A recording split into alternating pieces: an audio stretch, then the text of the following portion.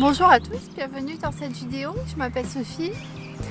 Et aujourd'hui en fait je vais vous parler de quelque chose qui été assez important pour moi pour un moment. C'est euh, de savoir se faire confiance et euh, aussi d'apprendre à apprécier ce qu'on a. Parce que j'ai déjà enfin, pendant longtemps je ne savais pas déjà aimer ce que j'ai chez moi à la maison. Et euh, je me suis aperçue en fait que le manque de gratitude pour ce que j'avais, on a déjà, quand on a la santé, c'est déjà beaucoup. Quand on a un toit sur la tête, qu'on a de quoi manger, euh, c'est déjà pas mal. Et c'est vrai que euh, dans la société où on est, en fait, on n'a pas. Euh, on est en permanence. les corbeaux. On est en permanence détourné de, de ce qu'on a qui est essentiel pour nous dans la vie. Et euh, euh, moi, à un moment dans ma vie, bah, j'ai dû, j'ai dû un petit peu me, recentrer sur moi-même et puis euh, essayer de voir qu'est-ce que j'avais. Et c'est vrai que souvent, moi, c'est un petit peu un truc. bon, là, je vais bientôt participer à une expo et c'est super cool. Mais parfois je vois les regards, euh, parfois, euh, bon, quand c'est admiratif ça va, mais euh, parfois je, me retrouve confrontée à des gens qui sont un peu envieux. Et j'ai, enfin, au début j'avais un petit peu de mal à gérer ça parce que en fait des fois les gens ils ont plus que moi euh, aussi bien sur le plan affectif, euh, matériel et enfin voilà quoi, ils ont tout, ils ont le job, ils ont ils ont tout pour être heureux et ça me fait de la peine pour eux parce que c'est comme les gens qui sont au restaurant, ils regardent euh, Enfin voilà, au lieu d'apprécier le plat qu'ils ont, ils vont regarder sur, sur l'assiette du voisin parce qu'ils croient que c'est meilleur que ce qu'ils ont eux-mêmes. Et je suis en train d'apprendre à gérer ça, de sentir euh, parfois les regards, les jugements, les pressions euh, de la part des gens parce que euh, je suis pas comme, comme tout le monde avec un boulot, un mari, deux gosses. et c'est difficile à gérer pour moi. Mais en même temps, je me destine à vivre de ma passion et, ça, euh, voilà, je veux dire, euh, pour moi c'est vraiment euh, le, seul truc qui me reste et je me dis, voilà. Et donc pour en revenir à ce que je disais au début de la vidéo, d'apprendre à se faire confiance. C'est vrai que moi, à chaque fois j'avais une super idée, j'avais commencé à le faire quand j'étais plus jeune, à chaque fois, j'ai rencontré des gens qui m'ont dit Ouais, mais ça marchera pas, tu vas voir, tu vas pas y arriver, nanana, nanana, Et euh, à chaque fois, bah, en fait, euh, je n'osais jamais euh, transgresser ce qu'on me disait.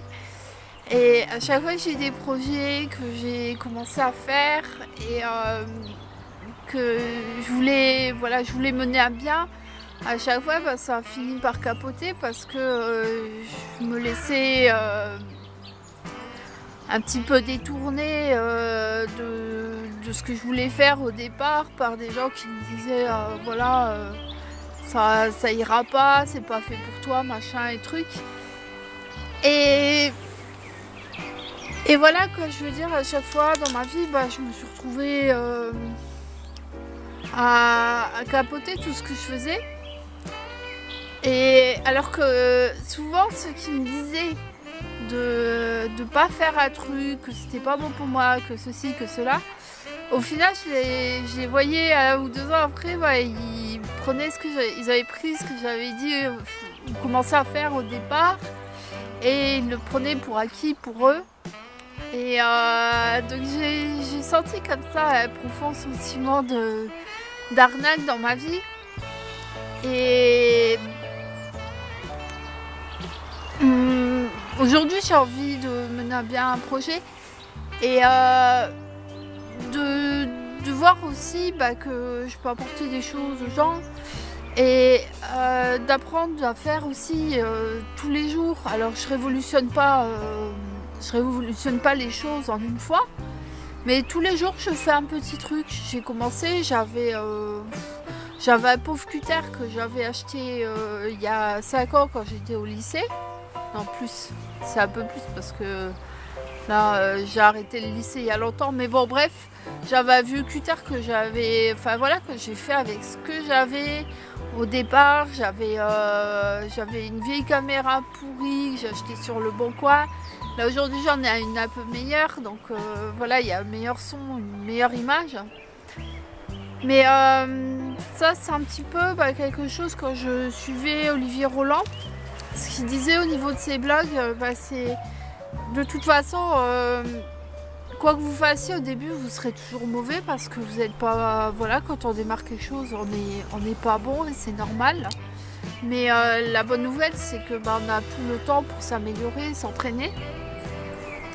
Et euh, euh, c'est ce qui m'a un petit peu aidé en fait à, avancer puis à, à pas avoir honte de pas être parfaite de, me dire bah voilà je vais, je vais essuyer des plâtres, euh, je vais me prendre des critiques, euh, il y aura des gens qui vont me mettre des pouces rouges et bah c'est pas grave. Et, euh, et j'ai commencé comme ça et j'étais vraiment pas à l'aise à la caméra au début. Et après quand je me suis pris des méchantes critiques sur internet, j'étais encore moins à l'aise mais j'ai continué parce que bah, j'avais envie de, faire ça et j'ai toujours envie de, continuer vers mon projet euh, de création de meubles en carton. Et du coup, euh, voilà, et je regrette pas parce que moi, le temps que j'ai passé à faire des choses, parfois bien, parfois mal, mais j'ai quand même continué. Et euh, je, je m'excuse, c'est pas que je regarde pas la caméra, mais des fois il y a des oiseaux qui passent, alors je regarde en même temps. Et euh, bah là aujourd'hui, je veux dire, euh, après avoir fait 200 meubles, euh, plus de 150 vidéos sur mon ancienne chaîne, et puis sur celle-là aussi, j'en fais pas mal. Bah à force, on commence. au début, on est un peu, moyen, un peu moyen, un peu hésitant. Et à force de, faire, de refaire, de refaire, de refaire, bah au bout d'un moment, on se sent super à l'aise dans ce qu'on fait. Et bah, je pense que c'est dans toutes les activités pareil, on démarre euh, que ce soit de la musique ou euh, euh, n'importe quoi d'autre. On, est toujours mauvais au début, puis après on avance, on s'améliore. Et, voilà, je veux dire, j'ai eu des moments où, bah voilà, je veux dire, je voyais des gens qui me disaient Ah, ça sert à rien ce que tu fais. ouais, Sophie, les cartons, je sais pas quoi, m'a dit même Miss Carton. Euh, ouais. Euh, enfin bref, j'en ai, j'en ai entendu de toutes les couleurs. On m'a dit que ça marcherait pas, que ça allait pas être solide. Euh. et bah finalement, bah voilà, je veux dire, de toute façon, moi je suis assez entêtée. Un oiseau qui est passé. Tout à l'heure, j'ai vu un, martin pêcheur. Et, finalement, bah, j'ai avancé tranquillement. Quoi. Euh, alors, c'était un peu difficile parce que bah, des fois, les gens ils, veulent imposer leur point de vue. Et euh, il y a des moments, bah, nous, si on est sûr de ce qu'on fait, on continue. Et, parfois, ils ne comprennent pas. Donc, on est obligé de mettre un peu la distance avec eux. Du coup, les relations sociales, c'est pas. Euh, ça, rétrécit vraiment euh, au strict minimum. Mais voilà, après, euh, ceci a un choix de vie. Et moi aussi, ce qu'il y a une chose que j'ai compris, parce qu'en en fait, quand on est, euh, je veux dire, complètement, complètement rincé psychologiquement, que tout va, tout va mal dans sa vie, euh, qu'on est face à l'échec. Euh, je veux dire, on a quelque chose en nous qui fait que bah, les gens nous évitent. Et euh, de toute façon, quand on fait quelque chose qui nous plaît, qu'on aime, et eh ben les gens le ressentent. Alors parfois il y a des gens qui seront de toute façon pas sympas, mais après on peut aussi attirer des belles personnes et moi j'ai eu de la chance par rapport à ça parce que voilà, j'ai quand même vécu des trucs assez sympas. J'ai fait des salons d'auteur. Comme j'avais écrit un livre sur Amazon, euh, j'étais au Creator Day à Paris avec euh, YouTube. Enfin, ça ouvre pas mal de champs de possibilités et, et euh, puis voilà quoi. Donc là, moi, je vais continuer ma, promenade parce que bah, j'ai pris mon goûter. Là, j'avais, j'ai mangé euh, des fruits secs. Et là, bah, il, fait, bien, il fait bien 16 degrés là pour un premier jour de printemps, c'est pas mal. Mais euh, bon, je vais, je vais marcher un petit peu, ça me dégourdira les pattes.